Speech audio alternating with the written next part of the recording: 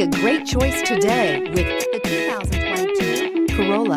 The Corolla is still a great option for those who want dependability, comfort, and value. This vehicle has less than 100 miles. Here are some of this vehicle's great options.